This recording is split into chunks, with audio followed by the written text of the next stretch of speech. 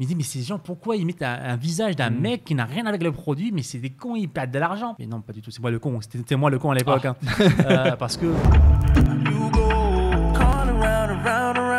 Qui nous dit avec 1000 euros réservés à la pub, est-ce que je dois passer par un prestataire pour faire mes créatives ou est-ce qu'il vaut mieux les faire soi-même au début? Donc vraiment au début. hein. Alors, vraiment au début, ça dépend aussi de tes compétences techniques. Big Boy, est-ce que euh, tu as, est-ce que tu es à l'aise tout simplement avec, euh, avec un, un minimum de, de logiciels de, de, Quel logiciel de montage Donc moi, je vous recommande euh, Sony Vegas. Donc Sony Vegas, euh, franchement, est très très détaillé, simple d'utilisation. Euh, sinon, il y a plein de, euh, de Il y a InVideo. InVideo, c'est ça. On vous met le lien juste en dessous d'ailleurs. Il y a un lien spécial pour toi, Sad. C'est ça, InVideo, c'est une plateforme qui permet de faire des montages vidéo assez basiques. Donc, c'est littéralement des clics, un clic, click and drop.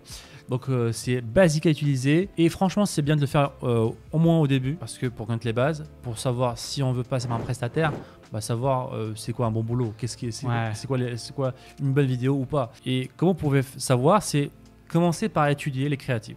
Donc, pas forcément faire le montage au début, mais tout simplement étudier des créatifs qui ont fait euh, beaucoup de, de bruit sur les réseaux sociaux. Alors vous voyez sur Facebook, vous voyez qu'il y a une vidéo d'un produit qui a fait 2 millions de vues.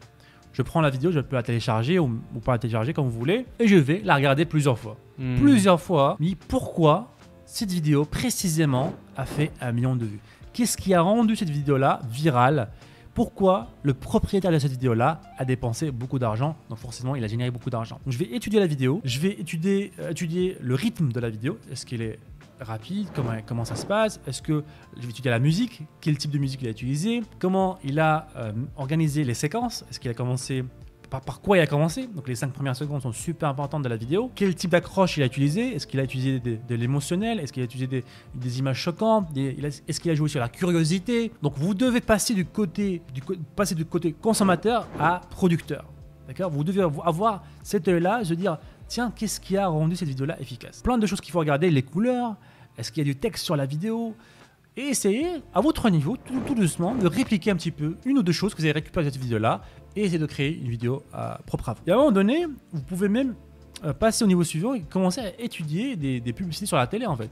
Lorsque vous regardez la télé, si jamais vous regardez encore la télé en, en 2021, bah lorsque vous regardez de la publicité, là, passez du côté producteur. Arrêtez de regarder des publicités en tant que consommateur et regardez avec votre cerveau qui est éteint. Allumez votre cerveau producteur et dites-vous que a des sociétés qui dépensent des millions d'euros pour avoir cette publicité-là à la télé. Surtout, c'est une publicité qui tourne tout le temps. Qu'est-ce que ça veut dire ça? Ça veut dire tout simplement que cette publicité-là génère de l'argent pour les personnes qui, la présentent. Donc pourquoi cette publicité-là marche? Est-ce que c'est le style de la vidéo? Est-ce que c'est le produit en lui-même? Quel est le message de la vidéo?